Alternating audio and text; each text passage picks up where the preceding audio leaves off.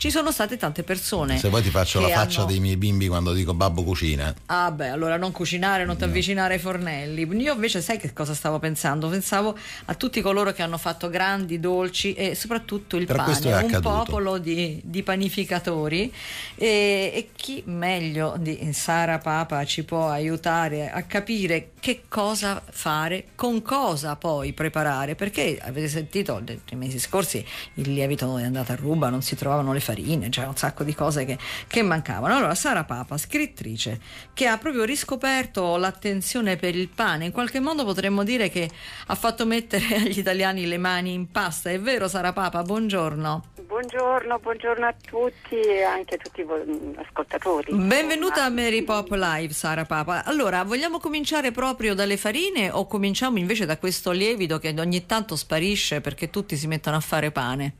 Sì, allora io direi che mh, il giusto valore mh, che dobbiamo dare al pane, no? che ricopre un ruolo molto importante nella nostra alimentazione quotidiana e quindi di conseguenza sulla nostra salute, quindi la scelta delle farine certo. che devono essere biologiche che sono, non è una sciccheria no, del biologico, ma sono le farine dei nostri nonni. Mm. Quindi noi dobbiamo cercare le farine integrali, grani italiani e, e, quindi questa è la base da cui partire, altrimenti non c'è storia. È inutile andare a comprare una farina 00 che poi il, nutrizionista di turno ci dice che ingrassa ma dobbiamo eh, utilizzare farine integrali che rallentano l'assorbimento dei carboidrati. Perfetto, quindi anche una notizia proprio di, da nutrizionista per tenere d'occhio la linea. E invece, e invece Sara Papa, dunque questi ritorni ai grani antichi sono proprio dei ritorni, non sono delle scoperte recenti, proprio perché allora, dicevi oggi... tu sono quelli dei nostri nonni.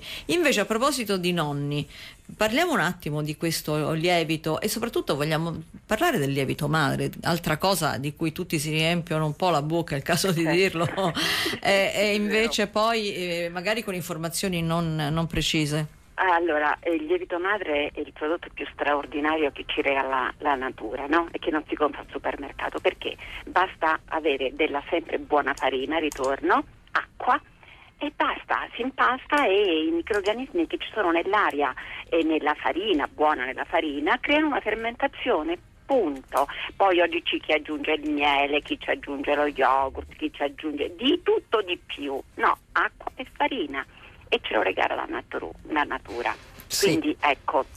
Si può aggiungere qualche altra cosa per la fermentazione? No, acqua e farina, però partendo da una farina, uno naturale, perché se noi dobbiamo fare un pane a casa naturale, dobbiamo scegliere comunque una farina naturale, quindi il lievito madre ha bisogno solo di quello. Le nostre nonne non utilizzavano nient'altro se non sì. acqua e farina.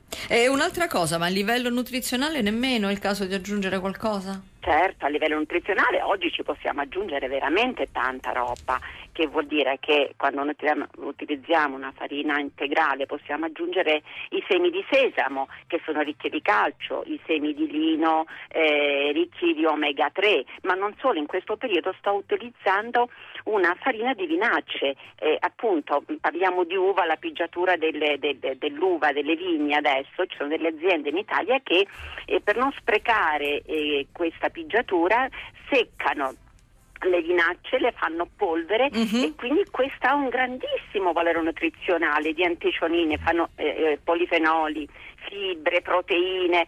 Ecco, quindi ecco, l'economia circolare di cui noi dobbiamo oggi pensare di non sprecare nulla. È quello che diciamo dicevi che, prima, torniamo sì. ai nostri nonni. E non solo, poi diciamo che nella pasta madre, nel lievito madre, no? acqua, farina, e possiamo usare il termine contaminazione in modo, in modo, come dire sì, buono, sì. in modo Noi buono. siamo pieni di, di microorganismi nell'aria, eh, nelle superfici. Ecco, quelle creano le fermentazioni. Le fermentazioni esistono da millenni.